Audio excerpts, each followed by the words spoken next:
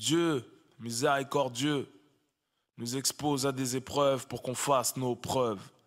Ne sommes pas là pour l'éternité. Quand tu pousses ton dernier cri, un nouveau retentit en maternité. Sans foi ni loi, tu fais parler toi, t'es content quand tu pars, compte deux, trois mois, on parle plus de toi. Si on te laissait revenir de la mort pour te rattraper, tu dirais que c'est un cauchemar, après l'heure c'est trop tard. Le soleil se lèvera avec ou sans toi. La vie continue. Disclaimer, je n'idolâtre aucunement le trafic de drogue, et je n'invite personne à choisir ce train de vie-là. Mon objectif est de raconter les histoires de ces quartiers et de pouvoir mettre des mots et images sur ces drames qu'on entend au quotidien dans les médias.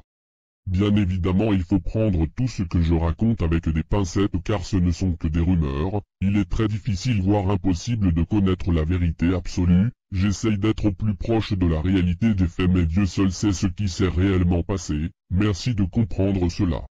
Et enfin merci pour votre soutien, vos likes, et vos commentaires, cela me donne énormément de force. Sans le rap, tu penses que t'en serais où? Je pense que je serais mort, frère. Ça m'a mis des frissons de te dire ça. Mais je pense que je serais mort, vraiment, réellement. Prend l'œil qu'il retrouve dans le caniveau et il le met à le brandir comme si c'était un trophée. J'ai réussi, je t'ai dit que je l'avais t'arracher les yeux. Je l'ai fait.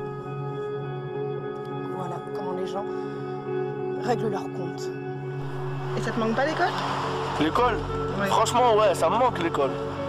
Les, les collègues et tout. Mais après. Que sa mère, là. Dans l'évolution du crime à Marseille, les bandes de cité n'hésitent plus à régler leur compte à l'arme de guerre pour le contrôle du trafic, voici leurs histoires.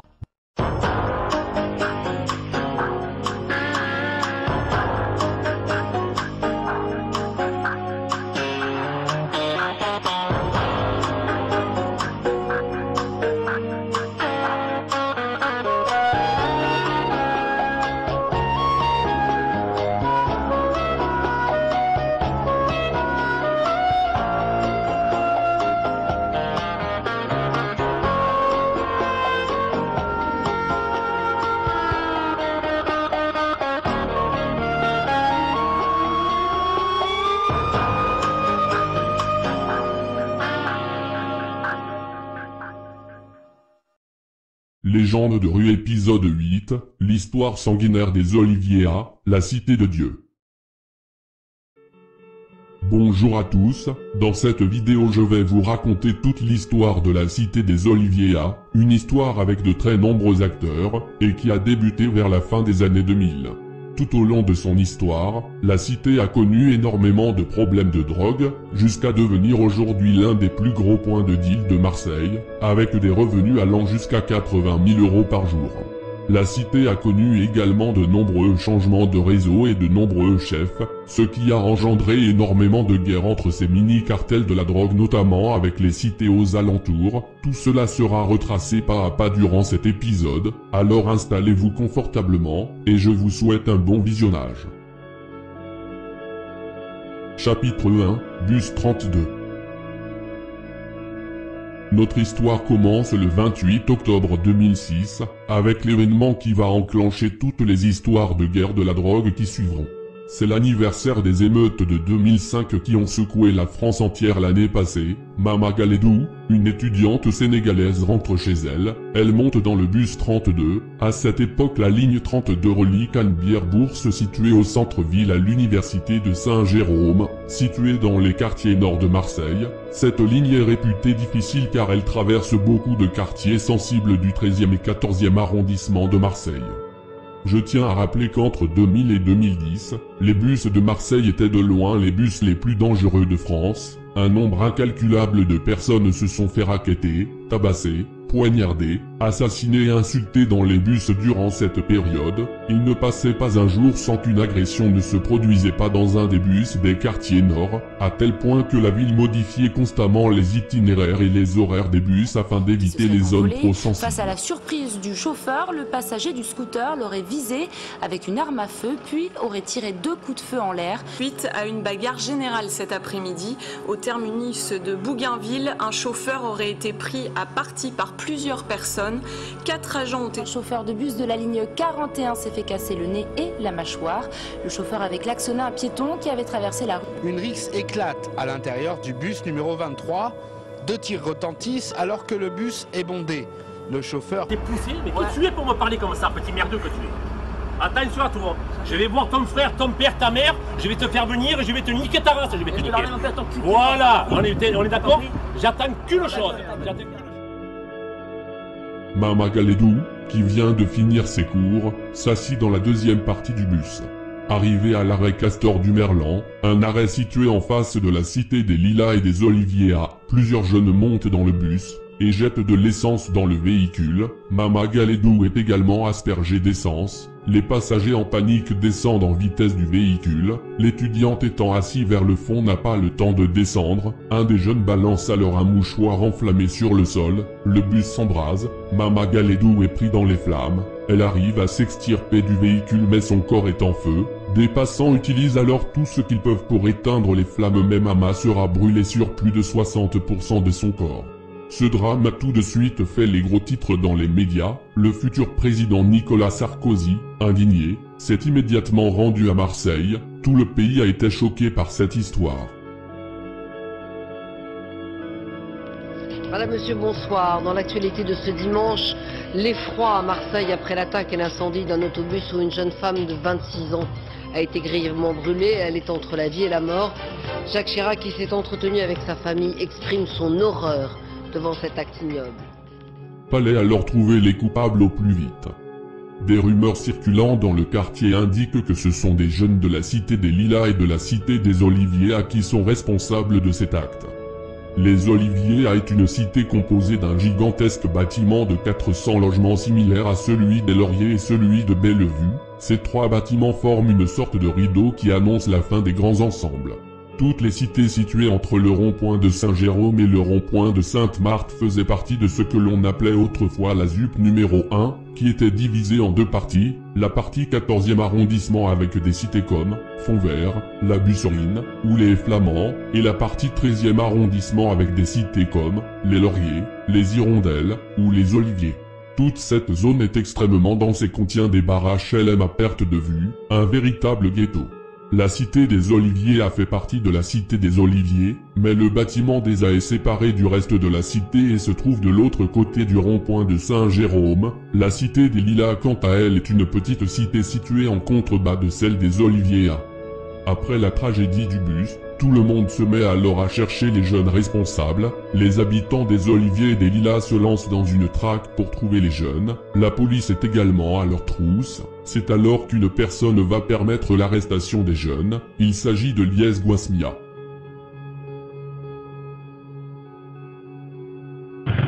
Alors Lies, Lies des Oliviers A. Lies Guasmia est un jeune trafiquant originaire de la cité des Oliviers A. Lui, ainsi que ses deux associés, ont commencé leur carrière de trafiquant en dérobant 100 kg de drogue aux frères Banglais, du gang des Gitans, vers le printemps 2008.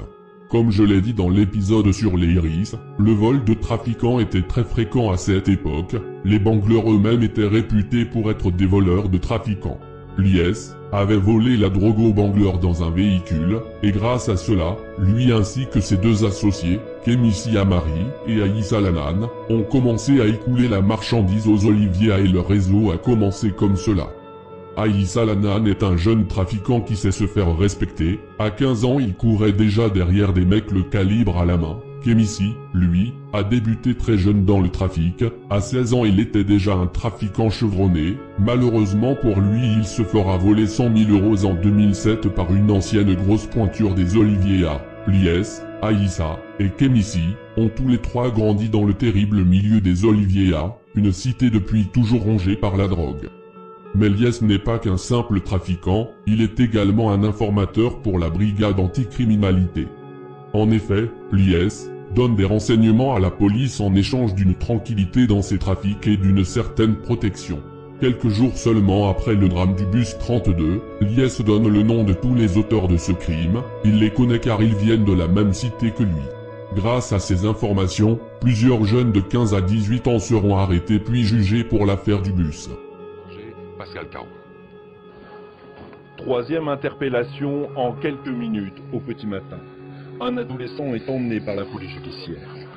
Pas de gros dispositifs. L'opération s'effectue dans la discrétion, dans quatre cités toutes proches du musclé du père de l'un des adolescents arrêtés. Peut-être pas mon fils, il avait un alibi.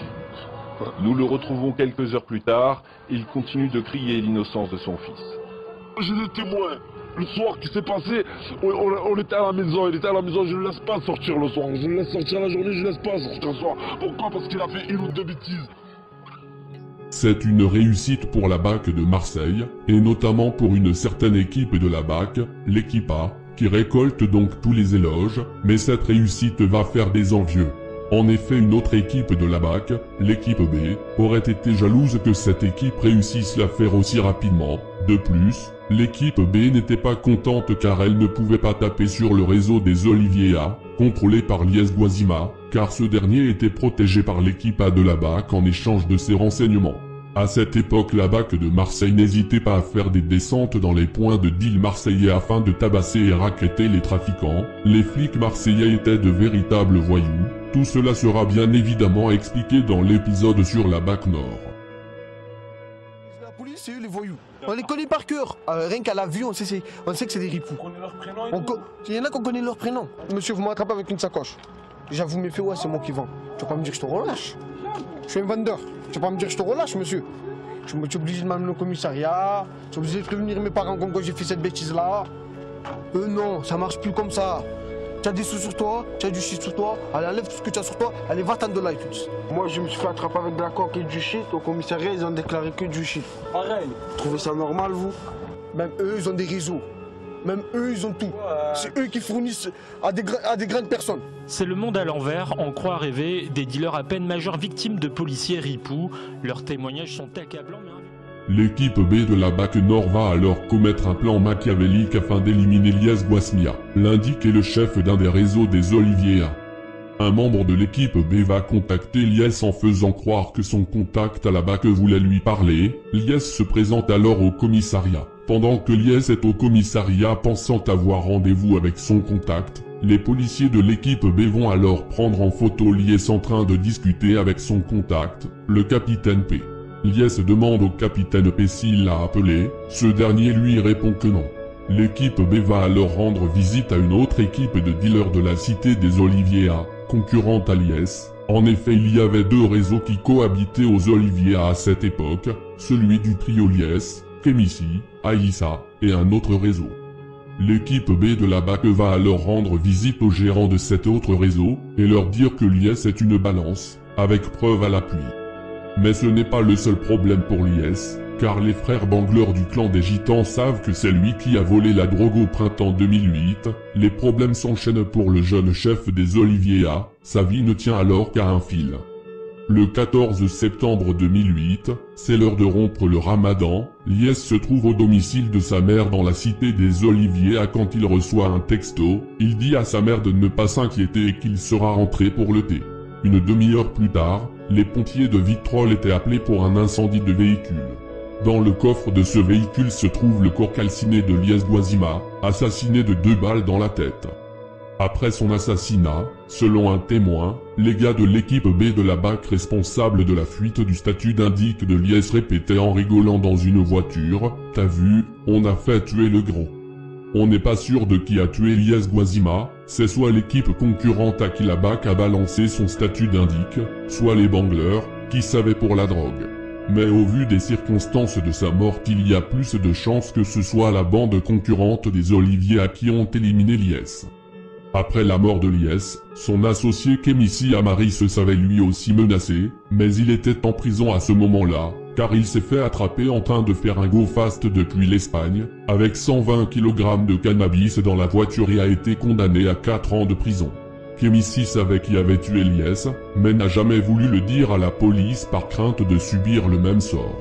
Quelques années plus tard, en 2013, Kémissi avait bénéficié d'un régime de semi-liberté, il pouvait sortir la journée mais revenait le soir pour dormir en prison, Kémissi se savant menacé, il avait demandé à la juge de lui accorder un bracelet électronique afin de ne plus retourner à la prison à des horaires fixes, ce qui est très dangereux car un commando aurait pu lui tomber dessus lors de son retour en prison. mais la juge a refusé sa demande. Malgré tout Kémissi a réussi à purger sa peine sans encombre, il sort donc libre de prison. Néanmoins, Kémissi réclamait toujours une protection policière, mais, quelques semaines après, en février 2013, Kémissi se rend à la cité des Oliviers pour aller voir des amis, car il habitait à Aix-en-Provence à ce moment-là. Il se trouve donc en bas de l'immeuble des Oliviers, plus précisément à l'entrée à neuf, quand un homme arrive armé d'un fusil à pompe et lui tire deux balles en plein visage, Kémissi sera malheureusement décédé sur place. Qui nous permet toujours d'approfondir les circonstances euh, des faits, mais manifestement il était attendu par un ou plusieurs tireurs. Et maintenant, tout le travail, c'est évidemment d'identifier euh, ces individus et de savoir pourquoi euh, il a été euh, abattu de cette manière. Le règlement de compte s'est passé tout près d'un centre d'animation, un centre très fréquenté par les enfants le mercredi. Le jeune homme avait 23 ans. Il avait été condamné à 4 ans de prison pour trafic de stupéfiants et association de malfaiteurs. Malheureusement, sur fond de trafic de, de, stupéfiants pour une personne qui était rentrée en prison, qui a donc purgé une peine, qui est ressortie et 15 jours après donc a été victime de règlement de compte par, une bande rivale, certainement. Selon le procureur, la victime... Cette opération ressemble clairement à un guet-apens. Kémissi s'est fait piéger de la même manière que Lies. Le trio des Oliviers a perdu deux de ses membres, Lies et Kémissi. Dix jours plus tard, c'est la libération du dernier membre du trio de Olivier A, Aïssa Lanan, 25 ans. Il avait pris trois ans de prison pour avoir séquestré un mauvais payeur et lui avoir volé un T-Max et une Audi. Aïssa sort donc de prison après avoir purgé sa peine. À la seconde où le jeune met un pied à l'extérieur de l'établissement, deux tueurs arrivent en moto et lui tirent six balles dans la tête. Le trio des Oliviers a est définitivement anéanti. Lies, Aïssa et Kemissi sont tous les trois décédés. C'est qui la reine des putes maintenant?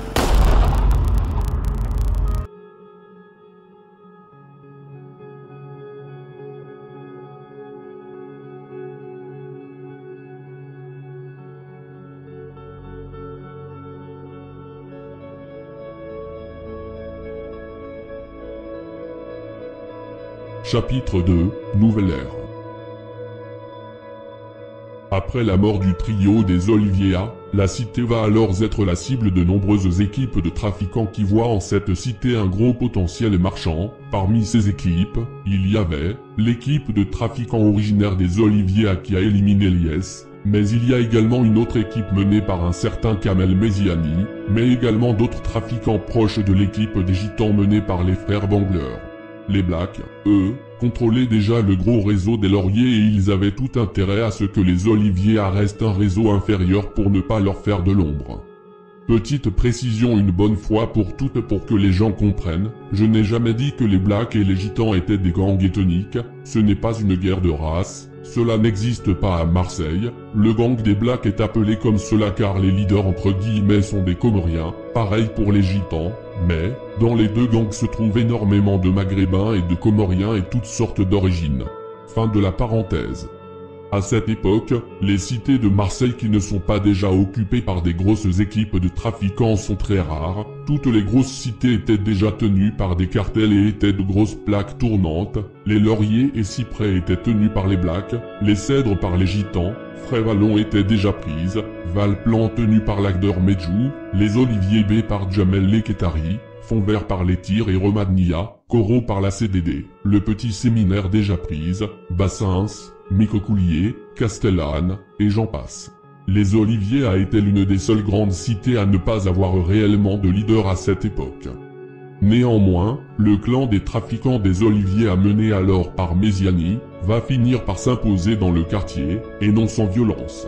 Après avoir enchaîné meurtre sur meurtre, Mesiani va petit à petit commencer à se faire un nom dans les rues de Marseille, mais, ayant éliminé toute concurrence au sein de son quartier, il se faisait malheureusement très mal mené par le clan des Blacks qui était aux alentours de 2014 au sommet de leur puissance. En effet leur réseau marchait du tonnerre avec plus de 1000 clients par jour et un chiffre d'affaires avoisinant les 60 000 euros quotidiennement grâce à la fameuse tour des cyprès. De plus leur ennemi historique, le clan des gitans, était mal en point car les frères Bangler se sont fait arrêter pour kidnapping. Le clan des Blacks a donc profité de sa supériorité pour écraser le réseau des Oliviers et tous les autres réseaux aux alentours, et leur faire subir toutes sortes de maltraitances comme du racket, des vols de clients, des menaces et des agressions. Le réseau des Oliviers se faisait donc très malmené par celui des Lauriers tenus par les Blacks, et, à cette époque, Méziani et son clan n'étaient pas assez puissants pour tenir tête aux Lauriers, et notamment face à la puissance de Youssouf Ahmada alias Sénateur, le chef des Blacks, qui était réputé être sans pitié. Certaines cités aux alentours avaient même interdiction de vendre du cannabis, et devaient demander carrément la permission au sénateur pour vendre de la cocaïne. Les Olivia, eux, vendaient quand même du cannabis, mais devaient subir la pression des lauriers et étaient contraints à faire profil bas. Mais, le vent ne va pas tarder à tourner en la faveur des Olivia. En effet, en 2015, la police va mener une énorme opération sur le réseau des Lauriers. La quasi-totalité du clan des Blacks sera alors arrêtée et incarcérée, notamment Youssouf Ahmada alias Sénateur, et son frère Ukutuba Ahmada alias Beur, les patrons du clan. Avec l'arrestation du clan des Blacks et la chute du réseau des Lauriers, le réseau des Oliviera, mené alors par Kamel Meziani, va commencer à monter en grade et amasser de plus en plus de revenus. Chapitre 3 KFC les Oliviers commencent sérieusement à se développer dans la zone, et les meurtres commis par Méziani ne cessent de s'enchaîner. En 2016, suite à l'arrestation des Blacks, les réseaux du 13e arrondissement vont connaître un certain déséquilibre avec de nouvelles équipes qui veulent se partager le gâteau. Le 13e arrondissement devient donc littéralement une zone de guerre, et l'année 2016 sera l'année la plus meurtrière de Marseille. Donc, la police va finir par s'intéresser aux Oliviers qui est le réseau qui a le plus progressé depuis la chute des Lauriers. Une grosse opération similaire à celle des Lauriers sera menée alors par la police sur les Oliviers En tout 17 personnes seront arrêtées, mais Kamel, le baron du quartier, arrive à prendre la fuite. Kamel Meziani, alias Souris, est le big boss du réseau des Oliviera. Il possède notamment un snack nommé Pasta Pids, situé dans le 15e arrondissement, et également une chicha située à Martigues. Kamel sait très bien comment blanchir les sommes monstrueuses du trafic. Durant sa fuite en 2016, Kamel continuera de gérer les affaires des Oliviera, et malgré la descente de police, le réseau va continuer de prendre de l'ampleur en occupant notamment le vide créé par la chute du réseau des Lauriers. Pour vous donner un ordre d'idée, la cité des Oliviers est située à une centaine de mètres de celle des Lauriers. Le réseau des Oliviers va notamment récupérer pas mal de clients qui achetaient autrefois aux Lauriers. Pendant ce temps, Kamel Meziani et ses hommes vont décider d'étendre leur influence à Marseille, ils vont donc décider de s'approprier le réseau de la Méditerranée. La Méditerranée est une cité du 14e arrondissement située dans un secteur différent de celui des Oliviers, donc une clientèle différente. Le problème est que la cité de la Méditerranée n'est pas une zone totalement libre, il y a d'autres trafiquants qui la convoitent également, et parmi ces trafiquants, il y a un certain Kadim Tian, alias Jimmy. Un jour Jimmy va attraper Sofiane Tatoui, un jeune lieutenant de Kamel Meziani qui devait s'occuper du réseau de la Méditerranée, et va le rouer de coups. C'est l'humiliation pour Sofiane, ce dernier va alors voir son patron, Kamel, et lui demander l'autorisation d'éliminer Jimmy. Kamel va accepter, cela lui permettrait de rayer des concurrents gênants, de se venger du tabassage d'un de ses hommes, et de montrer à tout le monde que personne ne plaisante avec les Oliviera. Kamel va alors fournir des armes à ses deux hommes, Sofiane et Boilem, à savoir un revolver et une Kalachnikov, et également une balise GPS. Les deux lieutenants de Kamel vont ensuite poser un tracker GPS sous la golfe du cousin de Jimmy, Sérigné M. Et vont céder de Abderrahman, qui est chargé de suivre la golf avec une tablette, et également d'un certain Rudy, un jeune de 15 ans, qu'ils ont recruté afin de leur donner le go. Le 21 octobre 2016, dans la soirée, Sérigné, le cousin de Jimmy se rend au KFC de Plombière avec deux amis à lui, Antoine Silva et Annelie Riziki. Pendant qu'ils sont stationnés, les trois jeunes croisent Rudy, le jeune de 15 ans, qui va leur dire bonjour, car il les connaît. À peine quelques secondes après, un scooter de grosse cylindrée avec Sofiane et Boilem à bord arrive à toute allure. Les deux hommes vont alors faire feu à multiples reprises sur le véhicule. Sérigné et Annelie seront touchés à de nombreuses reprises, mais Antoine, le troisième occupant, a réussi miraculeusement à se faufiler et à courir en direction du couloir du drive. Les tueurs récupèrent le tracker sous la voiture et prennent la fuite. Durant cette fuite, les deux jeunes vont croiser un véhicule de police et seront alors pris en chasse. Ils arrivent à distancer la police mais vont faire tomber une tablette permettant de localiser le tracker, un casque, une cagoule et des gants. Le scooter sera retrouvé incendié quelque temps après. Sérigné et Annelie, les deux jeunes tués ce soir-là, étaient en réalité des innocents, ils avaient juste accompagné Antoine au KFC pour manger, et se sont retrouvés au cœur d'une fusillade qui ne leur a laissé aucune chance. Le principal visé, Jimmy, n'était pas avec eux, et Antoine Silva, soupçonné d'être un associé de Jimmy, a réussi à se faufiler, c'est un échec pour la bande des Olivier qui n'aura pas obtenu sa vengeance. Néanmoins, ce double meurtre a fortement calmé Jimmy, ce qui fait que les Olivier ont pu tranquillement s'installer à la Méditerranée pour continuer leur trafic. Mais Jimmy et surtout Antoine, n'a pas oublié la mort de ses deux amis innocents sous ses yeux, et lui et Jimmy sont bien décidés à se venger. Pour cela, ils vont s'allier à un certain Samir Zerwali, surnommé ZZ, le chef du cartel de Jean-Jo, un groupe de trafiquants opérant sur la cité de Jean Jaurès, une cité très proche de celle de la Méditerranée. Jimmy va commencer sa vengeance en s'attaquant à Rudy, le jeune de 15 ans qui a été enrôlé par les Olivier afin de donner le go sur le double meurtre du KFC. Pour Antoine, Rudy est forcément responsable car les tueurs sont arrivés seulement quelques secondes après que Rudy leur ait dit bonjour. Jimmy va alors kidnapper Rudy, le jeune sera ensuite torturé puis exécuté de deux balles dans la tête, une exécution très sauvage. Après le meurtre de Rudy, Jimmy et ZZ vont encore s'attaquer à l'équipe des Olivier. Le 19 mars 2017, aux alentours de 20h, un groupe de jeunes trafiquants engagés par les Olivier se trouve dans un des de la cité Méditerranée, quand tout à coup, trois hommes du cartel de Jean Joe, cagoulés, font irruption et tirent dans le tas avec un pistolet automatique, un pistolet semi-automatique et un fusil à pompe. En tout 22 balles seront tirées. Un des jeunes se trouvant dans le bloc, âgé de 17 ans, va recevoir 3 balles, dont une qui va lui arracher la moitié de son poumon. Par je ne sais quel miracle, le jeune va survivre à ses blessures, mais aura de très graves séquelles. Quelques mois après cette tentative de meurtre, ZZ sera arrêté, et avec lui seront découverts deux armes ayant servi à la fusillade de la Méditerranée, un Walter P38 et un Zaghi M91.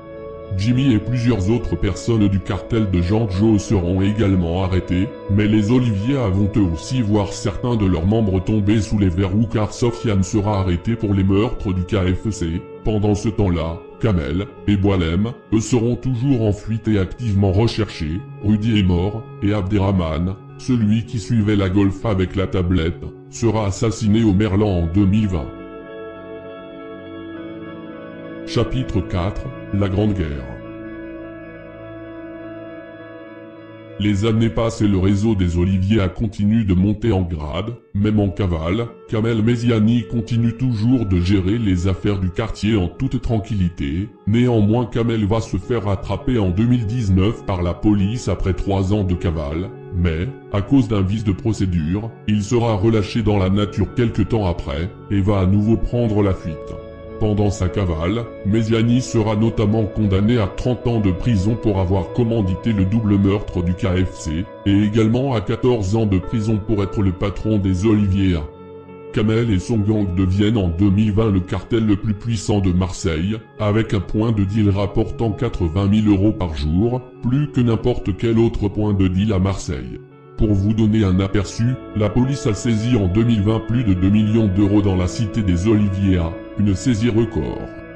Mais le clan des Blacks commence peu à peu à sortir de prison et à se remettre sur pied, et la supériorité des Oliviers a commencé sérieusement à les déranger. Le sénateur, bien qu'en prison, va dire à ces hommes qui sont en liberté de faire quelque chose pour changer cela. D'autant plus que les Oliviers à leur ont volé une énorme quantité de clients et ont récupéré leur marché, quelque chose qui ne passe pas du tout chez les Blacks. À la sortie de prison de Younes Latter, alias Pierre, le clan des Blacks va décider de passer à l'offensive. Pierre est un membre important du clan des Blacks qui a été condamné en même temps que le sénateur, et les autres membres du clan, pour son implication dans le réseau de drogue des Lauriers en 2015.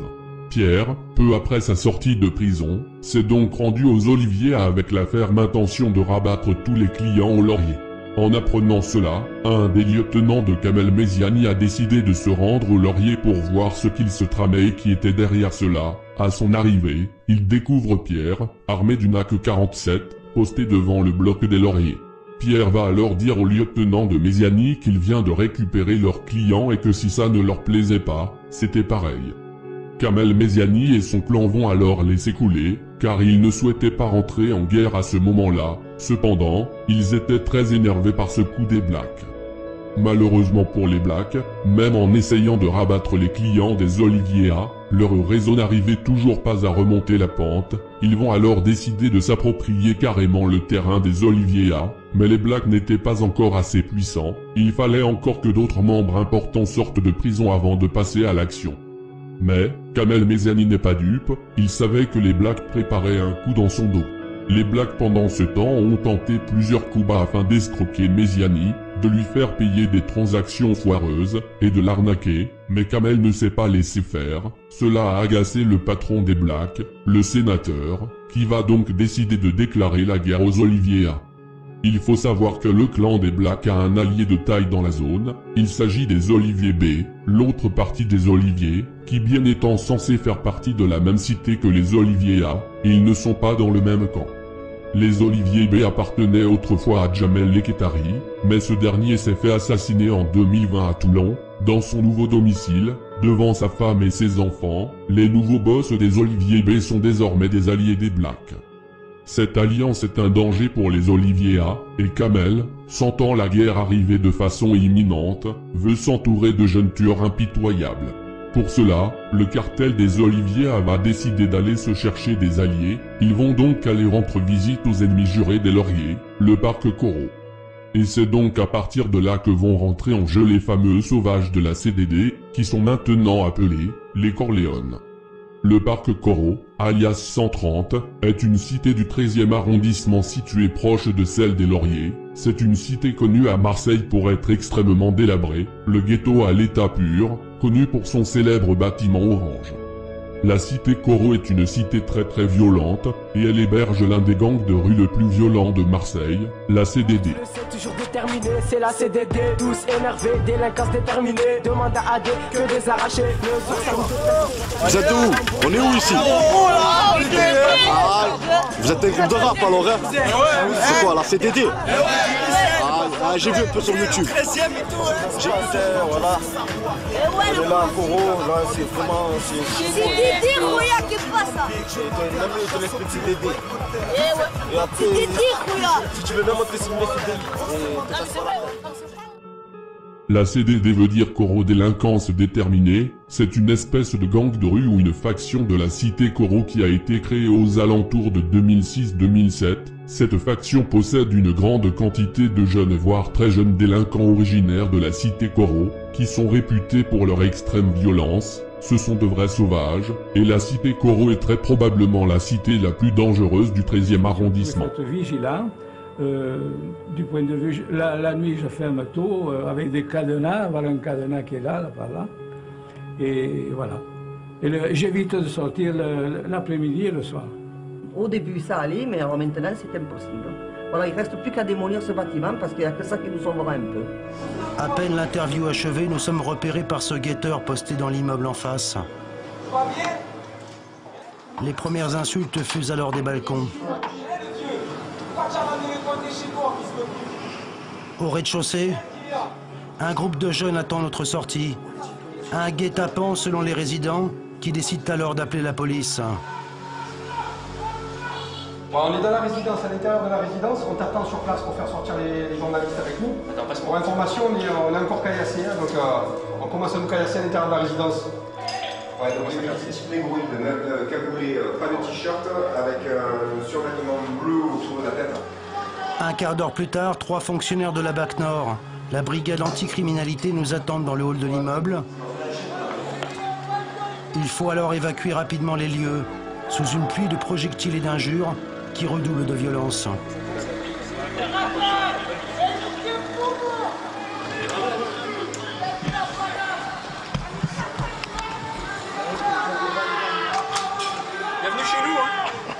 Bienvenue chez nous, Nous quittons la cité sous escorte.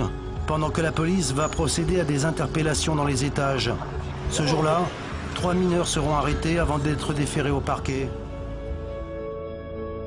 La CDD a de nombreux ennemis dans la ville de Marseille. Leur premier ennemi juré était les rosiers. La CDD a fait de nombreuses descentes dans ce quartier aux alentours de 2008, 2009 et 2010. À partir des années 2012-2013, la rivalité avec les lauriers a commencé. Contrairement au conflit avec les rosiers, qui lui était beaucoup plus axé sur la rue sans réel but, le conflit avec les lauriers lui reposait surtout sur le contrôle du trafic de stupéfiants.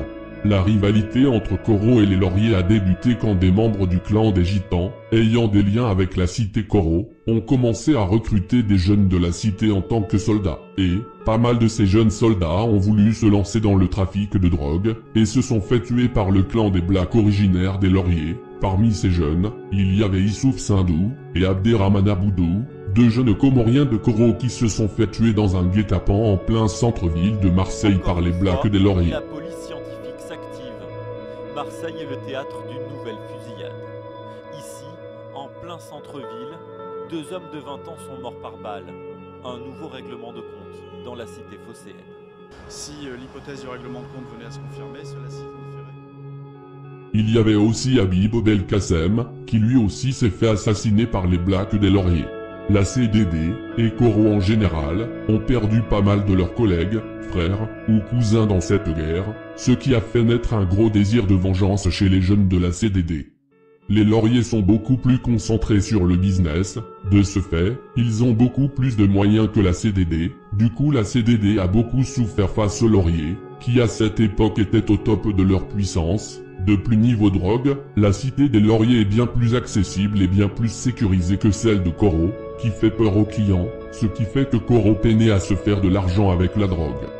La CDD ayant développé une haine viscérale pour les lauriers, il n'a pas été compliqué pour eux de s'allier aux Oliviera, comme on dit, les ennemis de mes ennemis sont mes amis. C'est une situation de gagnant-gagnant, d'un côté le cartel des Oliviers allait pouvoir compter sur une armée de jeunes sauvages prêts à tout, et de l'autre côté, le parc Coro allait enfin pouvoir se venger de tout le calvaire que le clan des Blacks et les Lauriers leur ont fait subir, grâce notamment aux moyens que peut leur fournir le cartel des Oliviera, à savoir des armes, des véhicules, de l'argent, et du matériel en tout genre. Avec cet arsenal la CDD, ou plutôt les Corléones, vont pouvoir venger tous leurs morts, et cela va être terrible. Donc nous avons d'un côté les Oliviers A et la CDD ou Corléone, et de l'autre côté les Oliviers B et les Lauriers ou Clan des Blacks. Une des guerres les plus violentes de ces dernières années va alors débuter.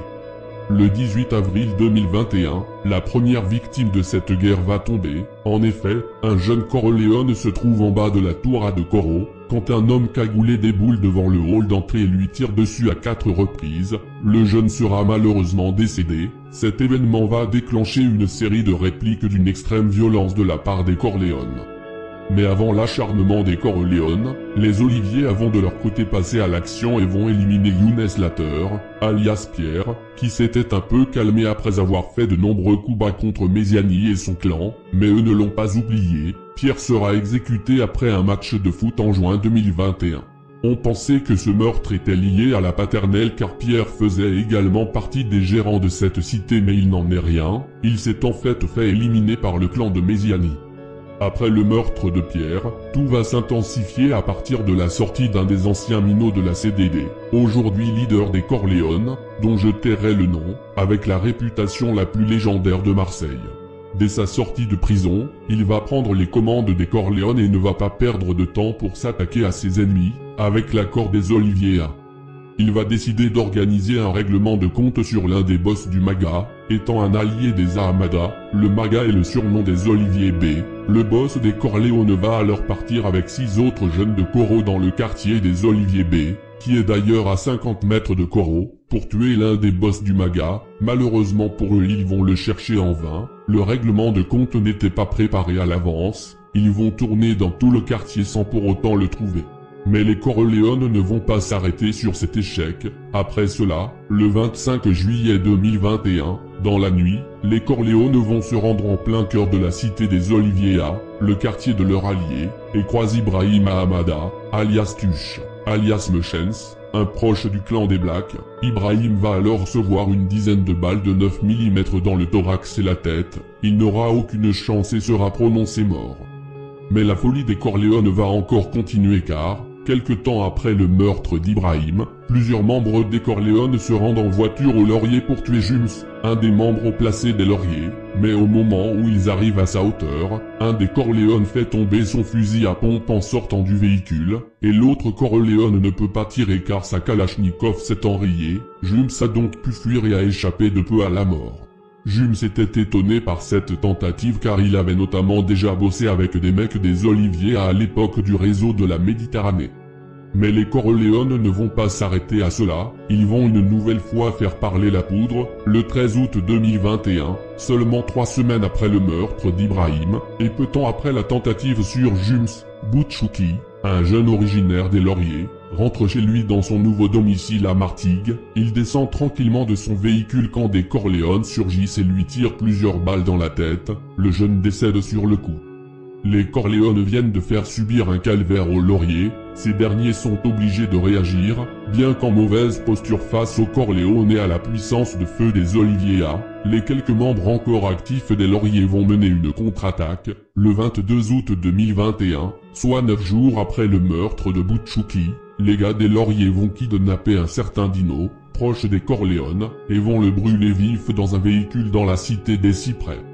Dans le même temps qu'Amel va charger à deux de ses hommes d'éliminer deux de ses ennemis à la marine bleue, les deux jeunes de 25 ans se trouvaient dans la cité aux alentours de minuit quand les deux soldats de Méziani arrivent, sortent de leur véhicule, et mitraillent les jeunes, qui vont décéder sur place. Après ce double meurtre, Méziani et ses hommes seront arrêtés.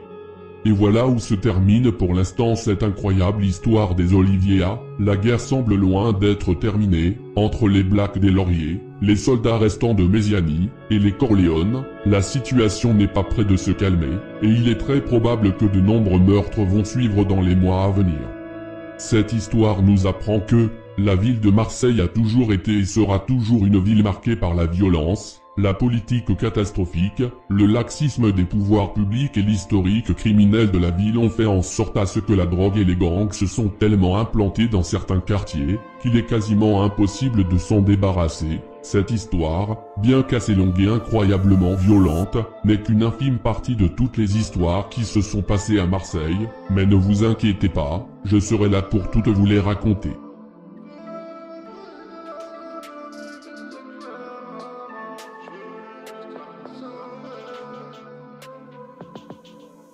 Adolescence, tu connais les risques, que du sale. Seul devant Iblis, donc maman me dit, mon fils t'es un homme. J'étais sans réponse, et puis le sang qui glisse sur mon visage. C'est que le mal est fait, mais ça m'a pas aidé d'écouter ma rage. Et si l'amour est dans le bénéfice des carénages, le bénéfice, seul devant Iblis, mon fils t'es un homme. L'enfer tu es vite, mais je veux des habits neufs. Et puis le paradis serait triste sans mes rêves.